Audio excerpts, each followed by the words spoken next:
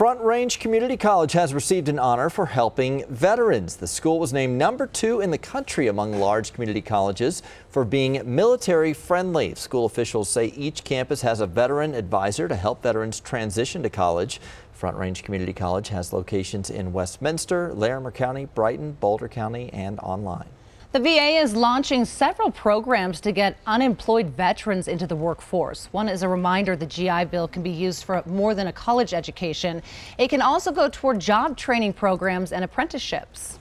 Really, the key here is that there are over 400,000 VA approved programs across over 20,000 VA educational institutions here in the United States and in foreign locations. So, really, it's the full gamut in terms of what is available to students when they think about returning to school and the opportunities that could be available to them once they complete school. The GI Bill can also be used to help spouses and children. Veteran, veterans can learn more on the VA website and compare different programs there.